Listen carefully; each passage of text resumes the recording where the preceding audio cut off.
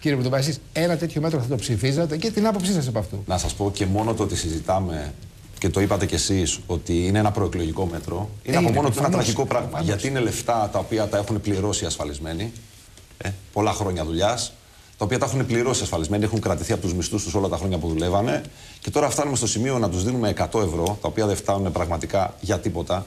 Μιλάμε για ανθρώπους οι οποίοι έχουν ολοκληρώσει ένα κύκλο εργασίας στη ζωή τους, έχουν μια σειρά από ανάγκες που μπορεί να ξεκινάνε από τις βασικές ανάγκες διαβίωσης και να είναι πρόσθετες ανάγκες για φάρμακα. 100 για κάθε μήνα είναι βέβαια. Για κάθε έτσι. μήνα. Ναι, 100 ναι. για κάθε μήνα όμως δεν ξέρω. Και για όσους έχουν κάνει, συγγνώμη να το πω αυτό, γιατί ακούει ο κόσμος, μέχρι τον Ιούνιο του 22 Ναι. έχουν Και κάνει. αν- έτσι. ούτε καν αφορά όλους Δηλαδή, αυτούς περίπου πριν από 7 μήνες. Ούτε καν. Ναι, ναι, ναι, ούτε δεν τους καν. αφορά όλους. Με αυτή την έννοια είναι, είναι ένα πράγμα από αυτά τα τρίκ που γίνονται προεκλογικά, τα οποία προφανώς καλό είναι να δοθούν, αλλά πραγματικά είναι στα όρια της κοροϊδίας σε αυτόν τον κόσμο ο οποίος έχει πληρώσει ασφαλιστικές εισφορές όλα αυτά τα χρόνια και δεν παίρνει τις συντάξεις είτε τις επικουρικές είτε τις κύριες, γιατί και στις κύριες υπάρχουν πολύ σοβαρές καθυστερήσεις στην έκδοσή τους και στην απόδοσή Σε πιο τους. μικρό βαθμό βέβαια τις επικουρικές. Σε πιο μικρό βαθμό, αλλά και Ναι. πάλι μιλάμε για, για δεκάδες χιλιάδες ανθρώπους οι οποίοι δεν έχουν κανένα εισόδημα για πάρα πολύ μεγάλο χρονικό διάστημα.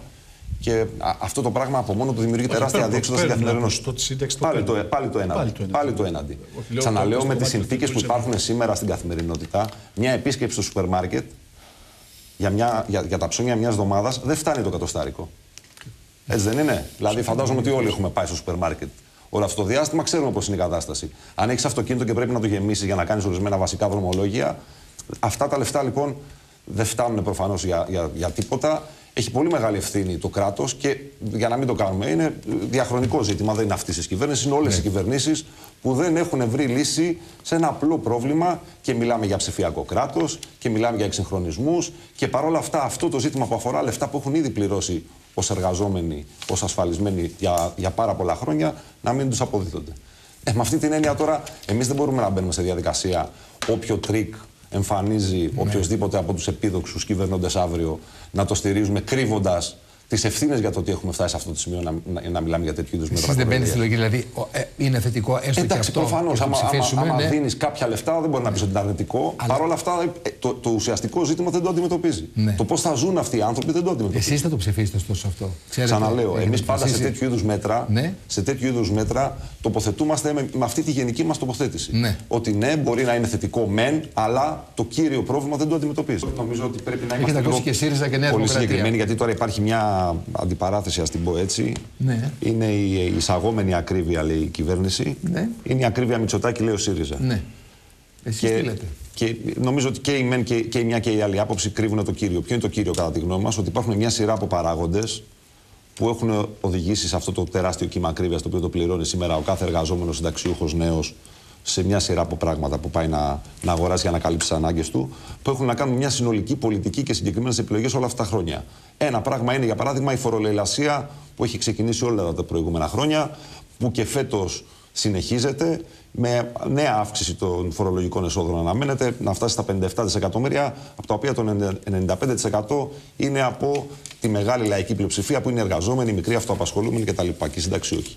Ένα ζήτημα είναι αυτό. Δεύτερο, και ο πρωτοετής φοιτητής νομικής ξέρει ότι όταν αυξάνεις την ποσότητα του χρήματος, δημιουργείς πληθωρισμό. Ναι, αυτό είναι αλήθεια. Αυτό σημαίνει ότι όλη αυτή η επεκτατική πολιτική των προηγούμενων χρόνων για να καλυφθούν οι αντιφάσεις του συστήματος όλα τα προηγούμενα δύο-τρία χρόνια θα οδηγούσε σε αυτό που βλέπουμε σήμερα. Που ποιο είναι η απάντηση από την άλλη πλευρά για να διαχειριστούν υποτίθεται αυτό το πρόβλημα, οι απανοτές αυξήσεις των επιτοκίων το, από την Ευρωπαϊκή Κεντρική Τράπεζα που πάλι την πληρώνει ο δόθηκαν, κόσμος. λέτε, επιδόματα στον κόσμο, κυκλοφόρησε χρήμα. Δεν δόθ- δόθηκαν επιδόματα Ε, για, να, δόθηκαν. για να καλύψουν, για να Έπε- καλύψουν έπεσαν συγκεκριμένα πολλά πράγματα. χρήματα. Έπεσαν, Έπεσαν πολλά χρήματα, τα χρήματα. οποία ήταν ακόμη.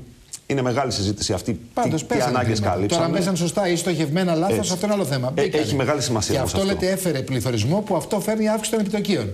Που Με για να, αποτέλεσμα τώρα- για να απαντήσει το σύστημα στην, στον Αυξάνει τα πληθωρισμό, επιτόκια. αυξάνει τα επιτόκια που πάλι Και τα αυτός που πληρώνουν έχει οι ίδιοι. στεγαστικό τώρα Κοιτάξτε επιχειρηματικό, έχει και στη, αυξηθεί η μία, δόση του, και ναι. στη μία και στην άλλη περίπτωση, Ναι. αυτοί οι οποίοι τελικά πληρώνουν είναι οι πολλοί. Και αυτοί οι οποίοι δεν πληρώνουν, και όχι μόνο απλά δεν πληρώνουν, κερδίζουν κιόλας, είναι συγκεκριμένοι λίγοι που είναι συγκεκριμένοι μεγάλοι επιχειρηματικοί όμιλοι. Νομίζω ότι είναι εξωφρενικό να μιλάμε για ανάπτυξη, να το πω έτσι, γιατί η χρονιά του 22 έκλεισε με ανάπτυξη, έτσι λένε τα στατιστικά. 6-6,5% έκλεισε, πόσο έκλεισε τελικά. Και ε, κατα, καταλαβαίνει ένα μέσο νοικοκυριό σήμερα, ένας εργαζόμενος, αν είχε ανάπτυξη το 22 στο σπίτι του, τι την ίδια ώρα που προφανώς προέκυπταν νούμερα ανάπτυξης, γιατί οι εισηγμένες, για παράδειγμα, επιχειρήσεις στο χρηματιστήριο αναμένεται να καταγράψουν καθαρά κέρδη, καθαρά κέρδη πάνω από 8 δισεκατομμύρια. Μιλάνε για ρεκόρ δηλαδή. Τότε, να σας διακόψω λίγο. Ναι. Με, με τη Νέα Δημοκρατία, λοιπόν, εγώ αντιλαμβάνομαι που μπορεί να διαφωνείτε στον πυρήνα της σκέψης αυτής. Ναι. Με το ΣΥΡΙΖΑ, πού διαφωνείτε; Μα ο ΣΥΡΙΖΑ δεν έχει ακολουθήσει κάποια διαφορετική πολιτική σε σχέση με την Νέα Δημοκρατία. Ακόμη και αν υψώνονται πάρα πολλοί τόνοι για αντιπολιτευτικούς λόγους, ε, και για να κρύψουν κιόλας. Ο μιλάει διαρκώς για την προστασία ναι, ναι, θα, θα, θα από την Και η Νέα Δημοκρατία μιλάει όταν χρειάζεται. Δεν είναι αυτό το θέμα. Ναι. ε, η επιδοματική πολιτική, για παράδειγμα, έχει όλες τις ε, εκδοχές. Ναι. Τις έχουμε δει την επιδοματική πολιτική για να καλύπτουν ούτε καν. Δηλαδή, θέλω να πω τώρα, λέει ο κ. Μπαλάφας για την 13η σύνταξη. Ο ΣΥΡΙΖΑ την τελευταία χρονιά της διακυβέρνησής του δεν καθιέρωσε 13η σύνταξη. Γιατί αλλιώ θα πρέπει να την έχει καταργήσει νομοθετικά η Νέα Δημοκρατία. Επίδομα έδωσε αν το θυμάμαστε καλά όλοι. Όχι, δεν θυμάστε. Δεν, δεν καθιερώθηκε ως 13η σύνταξη. Ψηφίστηκε 13η σύνταξη. Ω έκτακτο επίδομα ήταν πάλι, πάλι με αυτή τη μορφή. Γιατί αλλιώς θα έπρεπε να, νομοθετικά να καταργηθεί. Είχε κατοχυρωθεί νομοθετικά, ήταν 13η σύνταξη για αυτούς που ήταν πολύ χαμηλόμιστοι και ανέβαινε κλιμακωτά. Και νομοθετικά. Δεν υπήρξε καινούριος νόμος. Δεν υπήρχε 13η σύνταξη με την κλασική 11η σύνταξη, υπήρχε όμως ένα ποσό για τους χαμηλόμιστου. Υπήρχε. Άρα 13η. Ότι κάθε χρόνο θα παίρνουν άλλη μια σύνταξη είχε με τη μορφή αντίστοιχη μορφή. Όχι για όλους, για τους πιο χαμηλούς. Αφήστε με λίγο μπαλάφα. Την είχε ψηφίσει η Νέα ναι, ναι, ναι, Δημοκρατία και την κατήργησε μετά. Λέω λοιπόν ότι όλη αυτή η πορεία που έχει οδηγήσει στα σημερινά έχει τη σφραγίδα των κυβερνήσεων όλων των προηγούμενων χρόνων. Και έχει και του ΣΥΡΙΖΑ. Και να πω ένα. Θα μου δώσετε. Ναι, ε, δύο παραδείγματα πολύ συγκεκριμένα για να γίνει πολύ σαφές αυτό που λέω. Να κάνουμε και συζήτηση. Ναι, βεβαίω. Το ένα πράγμα είναι η ιστορία σε σχέση με την ενεργειακή πολιτική. Την απελευθέρωση της ενέργειας, στο οποίο επίσης έχουν βάλει τη σφραγίδα τους και οι προηγούμενοι και οι προ-προηγούμενοι, γιατί δεν μπορούμε να ξεχνάμε και το προηγούμενο διάστημα. Τα τρία μνημόνια δηλαδή τα έχουν ψηφίσει όλα τα κόμματα που έχουν οδηγήσει σε αυτό. Έχουν από ένα το καθένα. Αυτό Έτσι. Και έχουν από ένα από το καθένα και έχουν και μια συνέχεια που ακολουθεί η Νέα Δημοκρατία συνεχίζοντας. Και είναι για παράδειγμα πολύ χαρακτηριστικό το ότι έχουν φτάσει σήμερα, έχει φτάσει το ρεύμα ή τα καύσιμα, γιατί υπάρχουν, έχουν θεσπιστεί συγκεκριμένα μέτρα υλοποιώντας μια πολιτική της Ευρωπαϊκής Ένωσης, στο χρηματιστήριο ενέργειας, το εμπόριο ρήπων, μια σειρά από τέτοιου είδους παράγοντες, η απελευθέρωση του τομέα της ενέργειας, με μεγάλους κολοσσούς να παίζουν και να κερδοφορούν. Και όταν κερδοφορούν, μεγάλοι επιχειρηματικοί όμιλοι, κάποιοι το πληρώνουν. Και αυτοί που το πληρώνουν, γιατί αυτή είναι η πολιτική που ακολουθούν και οι ΜΕΝ και οι ΔΕ, είναι η μεγάλη λαϊκή πλειοψηφία. Κύριε Γουρδουμπά, για να ακούσουμε και εσάς. Λοιπόν, Εσείς δεν το ψηφίζετε, είναι ξεκάθαρο. Εμείς δεν θα το ψηφίσουμε. Και Οπότε από... μας εξηγείτε γιατί. Ναι, ναι να σας το εξηγήσω γιατί από την αρχή, όταν ξεκίνησε αυτή η συζήτηση για την πρόθεση να υπάρξει μια νομοθετική διάταξη που θα απαγορεύσει, θα βάλει μπλόκο στο κόμμα Κασιδιάρη ή γενικά σε παραφιάδες της Χρυσής Αυγής, είχαμε πει από την αρχή ότι δεν πρέπει σε καμία περίπτωση να υπάρξουν διατυπώσεις τέτοιες γενικεύσεις ε, σε σχέση με τις προποθέσει για τη συμμετοχή κομμάτων στις εκλογές που θα ανοίγουν το δρόμο για πράγματα τα οποία ε, θα, θα ανοίγουν το δρόμο ουσιαστικά στο να υπάρξει από την πίσω πόρτα το να έρθει η θεωρία των δύο άκρων. Και μας ανησυχεί αυτό το πράγμα και οι συγκεκριμένες διατυπώσεις στην τροπολογία της κυβέρνησης είναι συγκεκριμένες. Έχουν αυτό το χαρακτήρα. Μπορούν δηλαδή, χωράνε, να το πω έτσι, τη θεωρία των δύο άκρων και ε, μας ανησυχεί το συγκεκριμένο πράγμα γιατί η ταύτιση του φασισμού, ναζισμού με την κομμουνιστική ιδεολογία δεν είναι ένα πράγμα το οποίο υπάρχει σε κάποιους λίγους ενδεχομένως στην Ελλάδα. Είναι η επίσημη πολιτική της Ευρωπαϊκής Ένωσης. Με βάση αυτό άλλωστε είναι απαγορευμένα μια σειρά κόμματα, κομμουνιστικά κόμματα, σύμβολα σε ένα πολύ μεγάλο αριθμό χωρών μελών της Ευρωπαϊκής Ένωσης. Ένα το κρατούμενο. Δεύτερο, δεν συμφωνούμε ούτε με την ε, τροπολογία που έχει δώσει στη δημοσιότητα ο ΣΥΡΙΖΑ, γιατί και αυτή κατά τη γνώμη μας ανοίγει επικίνδυνους δρόμους. Ακριβώς γιατί επικαλείται, χρησιμοποιεί ε, τον τρομονόμο, τον οποίο τον έχουμε χαρακτηρίσει ένα απαράδεκτο νόμο όταν είχε ψηφιστεί. Ένα τέτοιο θεσμικό πλαίσιο, το οποίο επίσης έχει χρησιμοποιηθεί όλη αυτή η, η, νομική, το νομικό υπόβαθρο έχει χρησιμοποιηθεί για να χτυπηθούν κομμουνιστικά κόμματα, νεολαίε σύμβολα, για να χτυπηθεί τελικά το λαϊκό κίνημα. Και επισημαίνουμε το εξής πράγμα. Και αυτή την τοποθέτηση κάνουμε και θα κάνουμε και στη Βουλή. Ναι.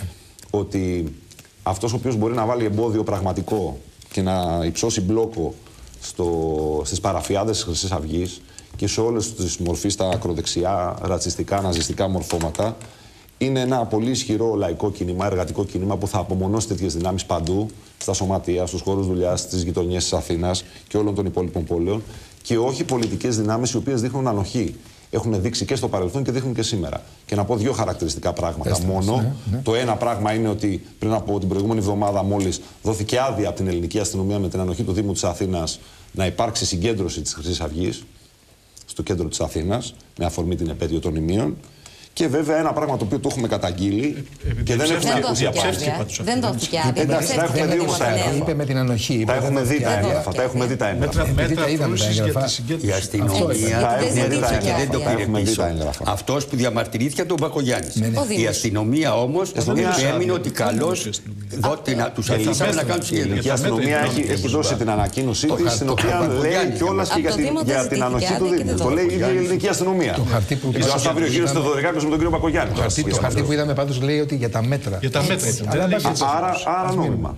Αν μπαίνει στη διαδικασία, αν μπαίνεις διαδικασία για τα μέτρα, δηλαδή αν θα είναι πάνω ή κάτω από το πεζοδρόμιο, πάνε να πει ότι υπάρχει η συγκέντρωση. Έτσι δεν είναι. Οποιαδήποτε συγκέντρωση. Δεν απαγορεύεται συγκέντρωση στην Ελλάδα. Α, μπράβο, αυτό λέω. Άρα λοιπόν έχει δοθεί άδεια. Αυτό λέω. Και το δεύτερο είναι ένα παράδειγμα το οποίο το έχουμε καταγγείλει. Δεν χρειάζεται να πάρουν άδεια να κάνουν 15 άνθρωποι να πάνε σε ένα μνημείο να καταθέσουν στεφάνι. Έστω και αν είναι ναζιστέ. Να σα θυμίσω απλά το πρόσφατο παράδειγμα με απαγόρευση συγκέντρωσης για το στο Πολυτεχνείο του 2020, στο οποίο η ελληνική αστυνομία με άβρες, με χημικά χτύπησε μέλη και στελέχη του Κουκουέ. Επειδή ήταν απαγορευμένοι. Πάμε στο δεύτερο. Και το δεύτερο παράδειγμα, το οποίο το έχουμε καταγγείλει μέρες, είναι ένα πράγμα το οποίο είναι ενδεικτικό για το πώς λειτουργούν διάφοροι οι πολιτικοί χώρες στην Ελλάδα. Είναι μια, ένα κοινό ψηφοδέλτιο που υπήρχε στο Εργατικό Κέντρο Πύργου, Εμάς μας ενδιαφέρει, ξέρετε, το εργατικό κίνημα και η εκπροσώπηση των εργαζομένων. Κοινό ψηφοδέλτιο από μέλη της Νέας Δημοκρατίας, του ΣΥΡΙΖΑ, του ΠΑΣΟΚ, με υποψήφιο της Χρυσής Αυγής στο, στο Δήμο του Πύργου. Αυτό προφανώς δεν χαρακτηρίζει όλα τα κόμματα, δείχνει όμως μια πολιτική ανοχής και σε συνδυασμό, λέω και με τις πολιτικές της Ευρωπαϊκής Ένωσης, που έχουν εξισώσει επί της ουσίας στην θολή έννοια του ριζοσπαστισμού, τον ναζισμό με τον κομμουνισμό, την κομμουνιστική ιδεολογία και δράση, εμάς όλα αυτά τα ζητήματα μας κάνουν ε, πάρα πολύ καχύποπτους και θεωρούμε ότι η συγκεκριμένη εξέλιξη τελικά, ενώ υποτίθεται ότι πάει να λύσει ένα ζήτημα δημοκρατίας, ανοίγει επικίνδυνους δρόμου. ο ΣΥΡΙΖΑ βάζει το, το υιοθετεί με κάποιον τρόπο σε αυτό που λέτε κι εσείς. Γιατί δεν το ψηφίζετε; Γιατί σας είπα ότι επικαλείται το άρθρο 187α όχι μόνο το 187 που μιλάει για τις εγκληματικές οργανώσεις, αλλά για τις τρομοκρατικές οργανώσεις. Αυτός είναι ο τρομονόμος, ο οποίος είναι ο τρομονόμος, ο οποίος έχει συγκεκριμένες διατάξεις που επίσης δημιουργούν λοιπόν, τέτοιου είδους προποθέσει. Κύριε Βουρδουμπάκη, σας ευχαριστούμε πάρα πολύ. Κύριε Βλέπετε πάντως ότι είναι πολλά τα πιθανά αραβωνιάσματα, όλα σε ε, αντιλαϊκή κατεύθυνση. Κοιτάξτε, άκουσα μια κουβέντα σήμερα από πολιτικό πρόσωπο. Και εμείς αυτό που λέμε τέλος πάντων είναι ότι πρέπει να ενισχυθεί το ΚΚΕ από όλη την εκλογική διαδικασία ακριβώς γιατί όποιο αραβωνιάσμα τελικά και αν κάτσει στο τέλος, το βασικό που θα κρίνει, επειδή θα έχει μια αντιλαϊκή κυβέρνηση να αντιμετωπίσει ο λαός, το βασικό είναι πόσο ψηλά και πόσο δυνατό θα είναι το ΚΚΕ για να μπορέσει να οργανώσει την αντιπολίτευση να διεκδικήσει τα